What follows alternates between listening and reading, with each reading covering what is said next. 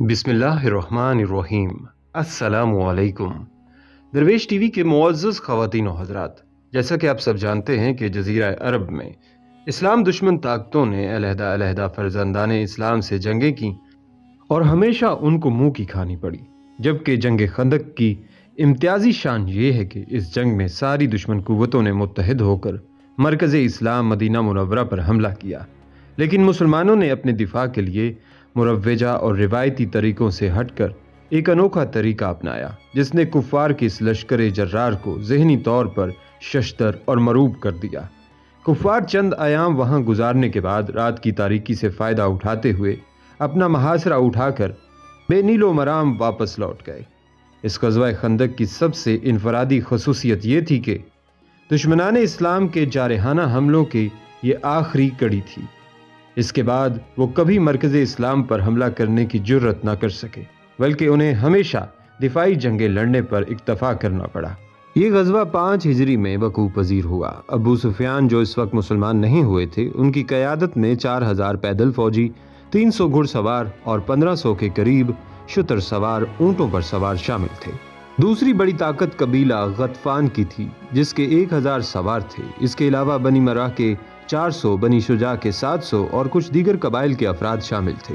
مجموعی طور پر تعداد دس ہزار سے تجاوز کر گئی، جو اس زمانے میں اس علاقے کے لحاظ سے ایک انتہائی بڑی فوجی قوت تھی۔ یہ فوج تیار ہو کر ابو سفیان کی قیادت میں چھ سو ستائیس عیسوی میں مسلمانوں سے جنگ کرنے کے لیے مدینہ مرورہ روانہ ہو گئی۔ ان سارے قبائل نے ایک مقررہ وقت اور مقررہ پروگرام کے مطابق مدینہ منورہ کا رخ کیا تھا۔ اس لیے چند دن کے اندر اندر مدینہ منورہ کے پاس دس ہزار سپاہ کا ایک زبردست لشکر جمع ہو گیا۔ یہ اتنا بڑا لشکر تھا کہ غالباً مدینہ منورہ کی پوری آبادی عورتوں، بچوں، بوڑھوں اور جوانوں کو ملا کر بھی اس کے برابر نہ تھی۔ جیسے ہی حضور نبی کریم صلی اللہ علیہ وآلہ وسلم کو کفار کے لشکر کی اطلاع ملی، تو حضور نبی کریم صلی اللہ علیہ وآلہ وسلم نے صحابہ اکرام کو مشورہ کے لیے طلب فرمایا۔ حالات بڑے نازک تھے۔ ایک چھوٹی سی بستی پر اتنے بڑے لشکر کی یلغار کیسے روکی جائے؟ تو سیدنا سلمان فارسی رضی اللہ تعالیٰ عنہ، جو فارس، ایران سے آئے ہوئے تھے، انہوں نے عرض کیا، یا رسول اللہ صلی اللہ علیہ وآلہ وسلم، ہمارے ملک فارس میں جب کوئی دشمن یوں حملہ کرنے کی نیت سے دھاوا بول دیتا ہے، تو ہم اپنے شہر کے ارد گرد خندق کھود کر اس کی پیش قدمی کو روک دیتے ہیں۔ ارشاد ہوا، تو مدینہ منورہ کے گرد بھی خندق کھود دی جائے۔ حضور نبی کریم صلی اللہ علیہ وآلہ وسلم نے اس تجویز کو بہت پسند فرمایا اور شہر کی اس جانب جدھر سے حملے کا خدشہ تھا، خندق کھودنے کے لیے نشانات لگا دیے گئے۔ ہر دس آدمیوں کو چالیس گز خندق، جو پانچ گز چوڑی اور پانچ گز گہری ہو، کھودنے کا فریضہ سونپا گیا۔ اللہ کے محبوب صلی اللہ علیہ وآلہ وسلم نے خود معمولی مزدور کی طرح کام کیا اور صحابہ کے ساتھ کئی وقت کے فاقے بھی کیے۔ حضرت ابو بکر صدیق رضی اللہ تعالیٰ عنہ اور حضرت عمر فاروق رضی اللہ تعالیٰ عنہ کو ٹوکریاں نہ مل سکیں تو انہوں نے اپنے کپڑوں میں ہی مٹی ڈھونا شروع کر دی۔ یہ کام تین ہفتے میں مکمل ہو گیا۔ خندق کھودنے کے کام میں سب مسلمان شریک تھے۔ کوئی بھی مستثنا نہ تھا۔ حضور نبی کریم صلی اللہ علیہ وآلہ وسلم اپنے دست مبارک میں کدال لیے اپنے غلاموں کے دوش بدوش خندق کھودنے میں مصروف تھے اور مٹی اٹھا اٹھا کر باہر پھینک رہے تھے۔ اس دوران سلمان فارسی نہایت جوش و خروش سے کام کرتے رہے اور اسی وجہ سے انصار کہنے لگے کہ سلمان ہم میں سے ہیں اور مہاجرین کہنے لگے کہ سلمان ہم میں سے ہیں۔ اس پر حضور صلی اللہ علیہ وآلہ وسلم نے فرمایا کہ سلمان میرے اہل بیت سے ہیں۔ خدائی کے دوران حضرت سلمان فارسی رضی اللہ تعالیٰ عنہ کے سامنے ایک بڑا سفید پتھر آ گیا جو ان سے اور دوسرے ساتھیوں سے نہ ٹوٹا۔ آخر حضرت محمد صلی اللہ علیہ وآلہ وسلم خود تشریف لائے اور کلہاڑی کی ضرب لگائی۔ ایک بجلی سی چمکی اور پتھر کا ایک ٹکڑا ٹوٹ کر الگ ہو گیا۔ حضور صلی اللہ علیہ وآلہ وسلم نے تکبیر بلند کی۔ دوسری اور تیسری ضرب پر بھی ایسا ہی ہوا۔ سلمان فارسی نے سوال کیا کہ ہر دفعہ بجلی سی چمکنے کے بعد آپ تکبیر کیوں بلند کرتے ہیں؟ حضور نبی صلی اللہ علیہ وآلہ وسلم نے جواب دیا کہ جب پہلی دفعہ بجلی چمکی تو میں نے یمن اور سنا کے محلوں کو کھلتے دیکھا۔ دوسری مرتبہ بجلی چمکنے پر میں نے شام و مغرب کے محلات کو فتح ہوتے دیکھا۔ اور جب تیسری بار بجلی چمکی تو میں نے دیکھا کہ کسرہ کے شہر میری امت کے ہاتھوں مسخر ہو جائیں گے۔ بیس دن میں خندق مکمل ہو گئی، جو تقریباً پانچ کلومیٹر لمبی تھی۔ پانچ ہاتھ تقریباً سوا دو سے ڈھائی میٹر گہری تھی۔ اور اتنی چوڑی تھی کہ ایک گھڑ سوار جست لگا کر بھی پار نہ کر سکتا تھا۔ مسلمانوں کی تعداد تین ہزار کے قریب تھی، جو پندرہ سال سے بڑے تھے اور جنگ میں حصہ لے سکتے تھے۔ بلکہ ناظرین جابر رضی اللہ تعالیٰ عنہ سے روایت ہے، وہ فرماتے ہیں، ہم غزوہ خندق کے موقع پر خندق کی کھدائی کر رہے تھے کہ ایک بہت سخت قسم کی چٹان نکلی۔ صحابہ رضی اللہ تعالیٰ عنہم رسول اللہ صلی اللہ علیہ وآلہ وسلم کی خدمت میں حاضر ہوئے اور آپ سے عرض کیا کہ خندق میں ایک چٹان ظاہر ہو گئی ہے۔ آپ نے فرمایا، میں اندر اترتا ہوں، لہذا آپ کھڑے ہوئے، جبکہ اس وقت بھوک کی شدت کی وجہ سے آپ کا پیٹ پتھر سے بندھا ہوا تھا۔ اور ہم لوگوں نے بھی تین دن سے کچھ نہیں کھایا تھا۔ آپ صلی اللہ علیہ وآلہ وسلم نے کدال اپنے ہاتھ میں لی اور چٹان پر مارا۔ چٹان بالو کے ڈھیر کی طرح بہ گئی۔ یہ سارا معاجرہ دیکھ کر میں نے عرض کیا، یا رسول اللہ، مجھے گھر جانے کی اجازت دیجیے گھر جا کر میں نے اپنی بیوی سے کہا کہ آج میں نے نبی کریم صلی اللہ علیہ وسلم کو اس حالت میں دیکھا ہے کہ مجھ سے صبر نہ ہو سکا۔ یا تمہارے پاس کھانے کی کوئی چیز ہے؟ بیوی نے بتایا کہ ہاں کچھ جو ہیں اور ایک بکری کا بچہ۔ میں نے بکری کے بچے کو ذبح کیا اور میری بیوی نے جو پیسے، پھر ہم نے گوشت کو چولہے پر ہانڈی میں رکھا اور میں رسول اللہ صلی اللہ علیہ وآلہ وسلم کی خدمت میں حاضر ہو گیا۔ آٹا گوندا جا چکا تھا اور گوشت چولہے پر پکنے کے قریب تھا۔ نبی کریم سے میں نے عرض کیا کہ تھوڑا سا کھانا تیار ہے، آپ تشریف لے چلیں اور دو ایک دیگر افراد کو ساتھ لے لیں۔ آپ نے دریافت فرمایا کہ کتنا ہے۔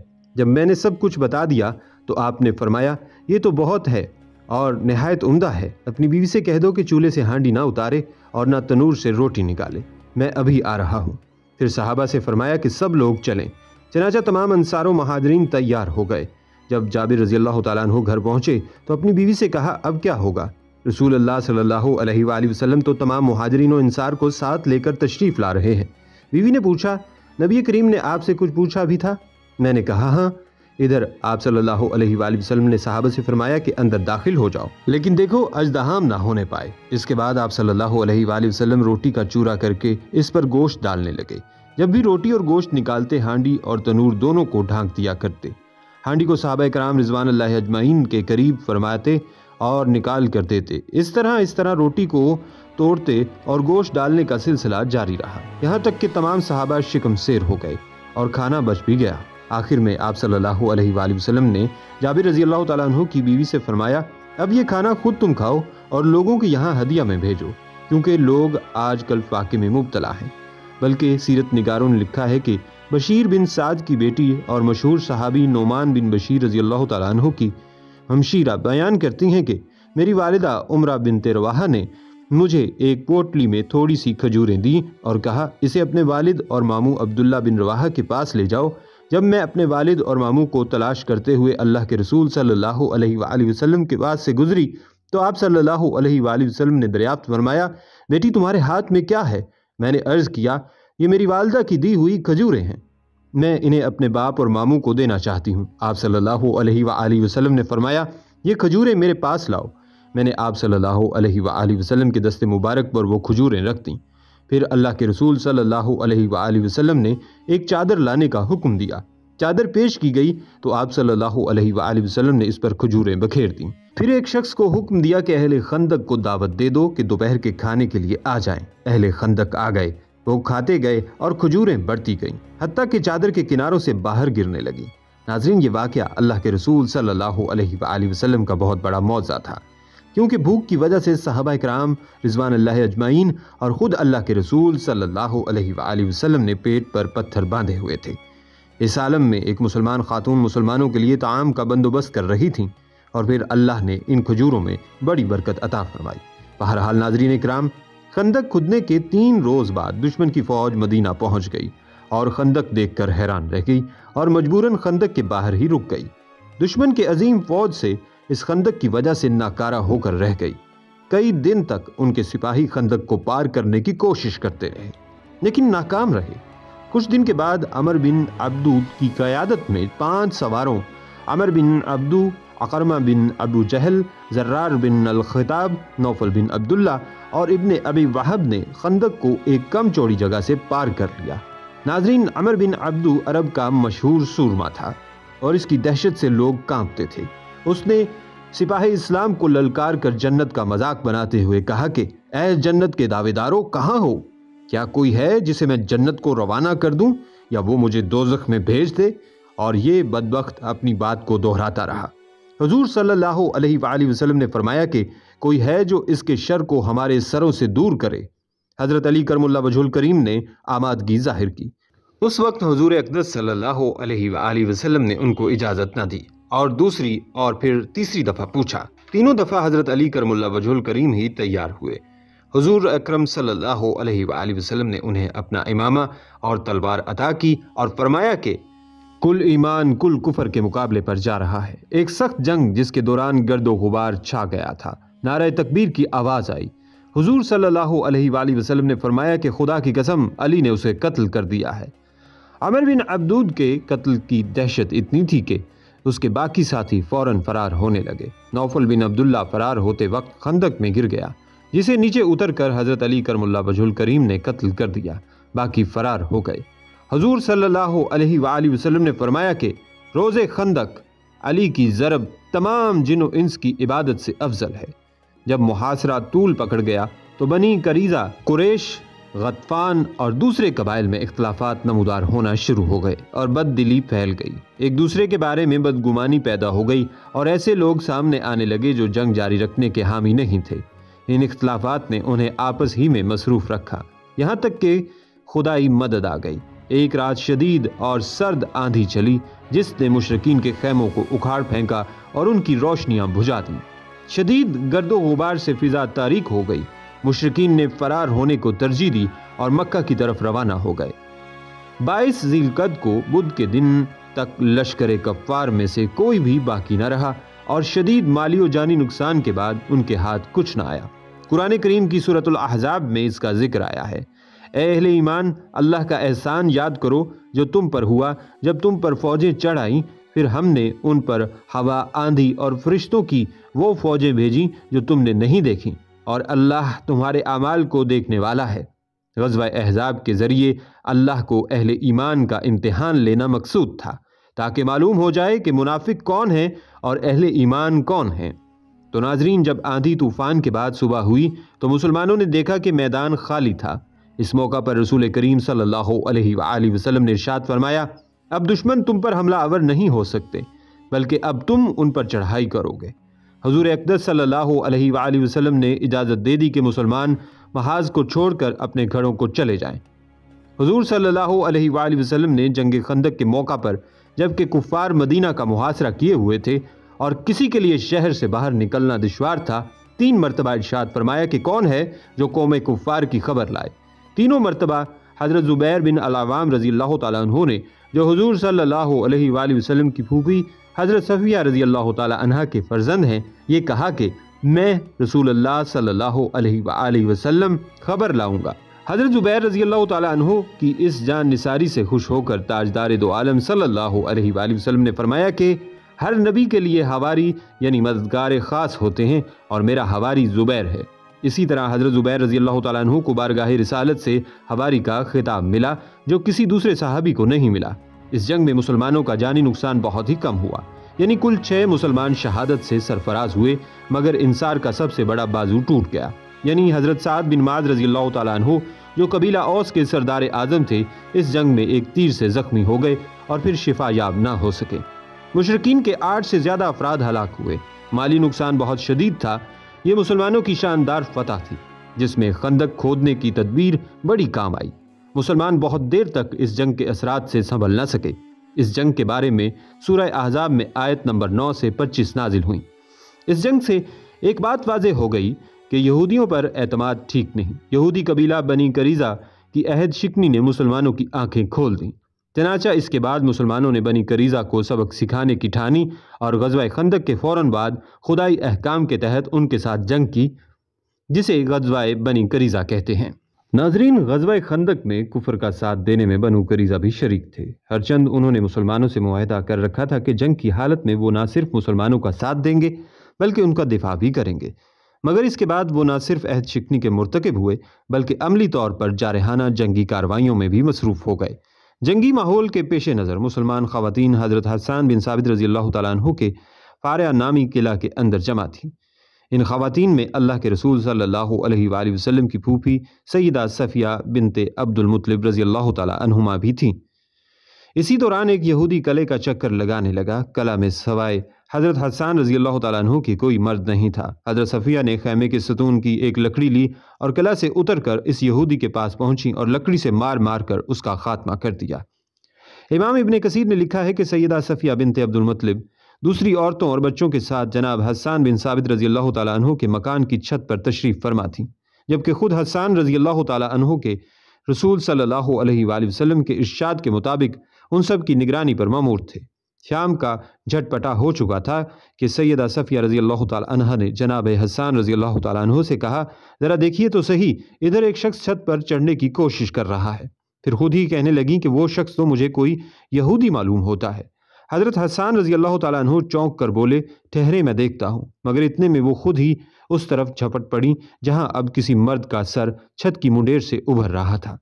اللہ کی اس نیک بندی نے ایک موٹا ڈنڈا اس ابھرتے ہوئے سر پر اس طرح رسید کیا کہ وہ شخص ایک لمبی دل خراش چیخ مار کر چھت کی منڈیر سے نیچے جا گرا۔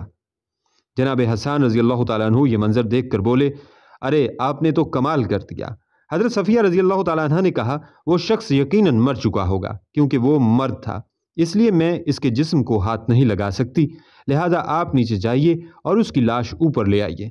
حضرت حسان رضی اللہ تعالیٰ عنہ اس کی لاش اوپر اٹھا لائے۔